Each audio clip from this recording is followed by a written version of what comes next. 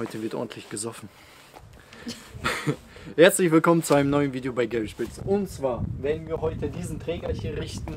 Glaub mir, ich kann es nicht mehr abwarten, dieses Auto endlich auf der Straße zu sehen, beziehungsweise einmal fahren zu sehen. Was ich sagen kann, ist, dass das Ganze hier wahrscheinlich auch noch eine kleine Baustelle sein wird. Ich hoffe, es wird nicht allzu teuer dort. Aber ich hätte gesagt, Film ab.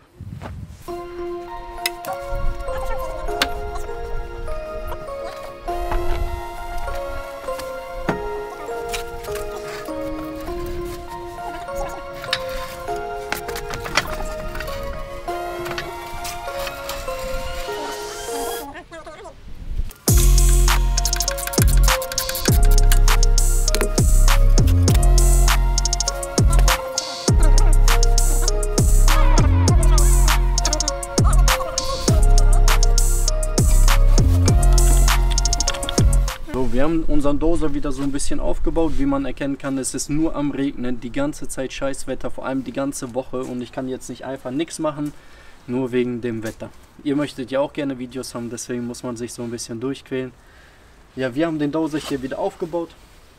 Wir haben hier ein Kantholz, der drückt jetzt hier auf die Karosse. Wir haben hier ein Kantholz. Dann haben wir den hier oben festgemacht in der Hoffnung, wir werden das hier nicht rausziehen wollen. Wir möchten, das Einzige, was wir erreichen möchten, ist diese Stelle hier ein bisschen vermindern. Wir werden hier jetzt ordentlich ziehen, werden hier ein bisschen Hitze geben, werden noch strammer anziehen und den Rest werden wir hier versuchen mit Hammer und äh, Kantholz so ein bisschen rauszuhauen. Wie gesagt, es wird nicht 100% perfekt sein, aber man versucht es so gut wie es geht zu machen. Es ist nun mal ein Unfallauto und das bleibt es auch. Man muss den Leuten immer klar sein. Naja, ich würde sagen, wir testen das Ganze jetzt, wie das verläuft mit der Kraft, wo die hingeht, ob das funktioniert. Ich kann mir aber vorstellen, uns wird die Kraft fehlen, weil dafür, um das hier rauszubekommen, musst du erstmal das Ganze ziehen und ich kann mir vorstellen, das wird sehr, sehr schwierig. So. Das Problem, was wir noch haben, der Dozer steht nicht 100% in einer Linie zu dem, was wir hier ziehen. Dadurch wird sich der Dozer natürlich immer in diese Richtung drücken und deswegen haben wir hier zwei Kanthölzer genommen, stützen den am Zaun ab. Das haben wir letztens auch gemacht. Das ist nicht so viel Kraft, aber man muss es trotzdem irgendwie auffangen, damit er halt nicht hier hinkommt.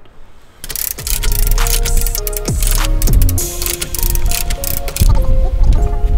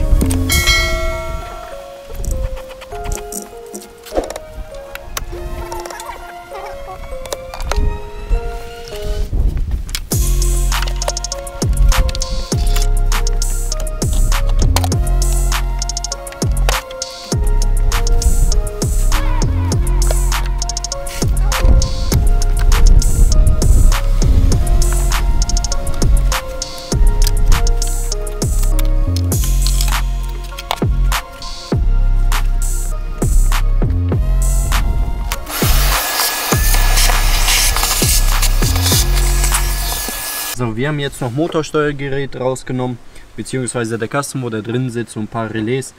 Einfach um zu gucken, wie weit der Schaden innerseitig hier äh, gekommen ist. Man kann hier auch sehr schön sehen, ich muss euch gleich eine andere Perspektive zeigen, aber man kann sehen, dass der Schaden wirklich minimal bis hier nach unten gegangen ist. Das kann man hier auch schön raushauen. Das ist jetzt auch kein dickes Material hier. Das kannst du einfach mit einem Kantholz äh, wieder gerade machen.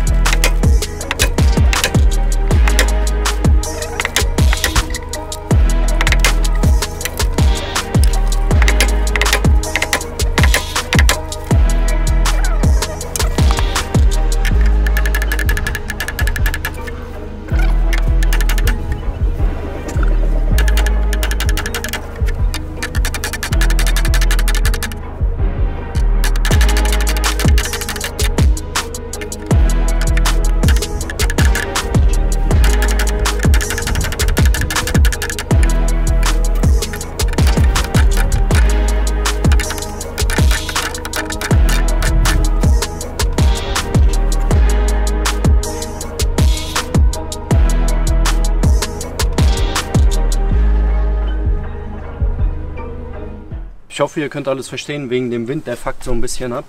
Auf jeden Fall, wir haben diese Kante hier wirklich wieder perfekt hinbekommen. Die sieht schon wirklich sehr, sehr gut aus, muss ich sagen. Hier in die Stelle haben wir auch sehr gut zurückbekommen. Natürlich hast du da noch eine kleine Knickstelle. Wenn du mit dem Finger drüber gehst, dann spürst du da auf jeden Fall, dass da mal was leicht war. Also das kannst du auch nicht 110% hinbekommen. Wenn du es 110% haben willst, dann musst du das hier rausschneiden, musst dann ein neues einsetzen. Dann hast du es wirklich gut und neu. Aber der, der leichte Knick dort, ich sag mal so, ist nichts Wildes. So, wir werden jetzt versuchen, das hier zu richten. Das Problem ist bei dem hier, der ist hier hochgegangen und hier ist er runtergegangen. So hat er sich hingestellt. Du kommst von hier unten leider nicht dran. Wir haben uns jetzt gedacht, wir werden hier unten einfach ein, was ist das, 13er, 12er, 14er Loch bohren, werden dann mit einer Stange, das ist die hier, da durchgehen und werden den hier wieder hochhauen. Das ist so jetzt unsere Idee.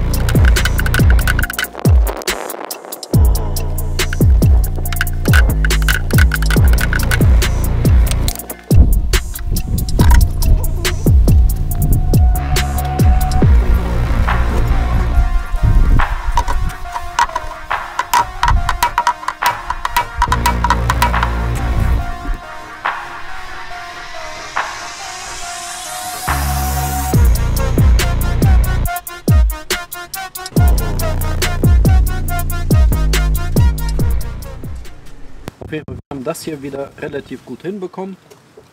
Wir haben hier einen ganz leichten Knick noch. Den könnten wir auch beheben unter der Bedingung, wir müssen hier von innen halt reinbohren, dass wir hier ein Loch haben. Dann könnten wir die Stange nehmen und den hier raushauen. Aber ich sage ganz ehrlich, ich lasse lieber diese kleine Druckstelle hier, anstatt dass ich da jetzt ein Loch reinbohren werde.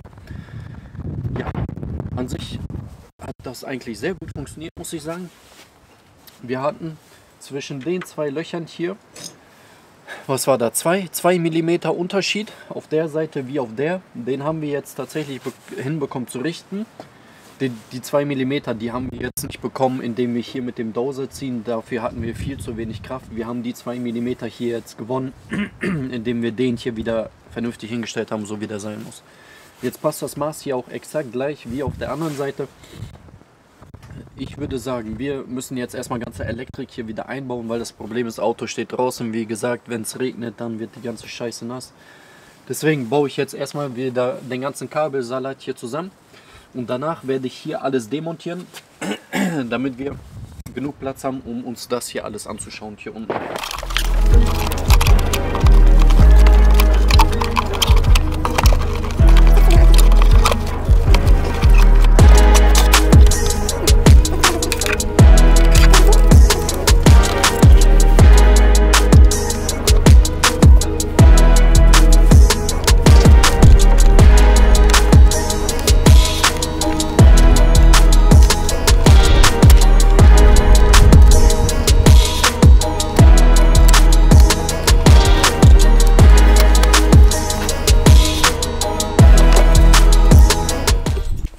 So, das war es jetzt mit diesem Video. Ich bin wirklich sehr zufrieden mit der Stelle. Auf dem Video sah es so ein bisschen aus, als ob das hier nicht ganz gerade ist. Aber ihr könnt selber sehen, hier ist ein bisschen Struktur drin. Dementsprechend, also es sieht einfach, es ist gut.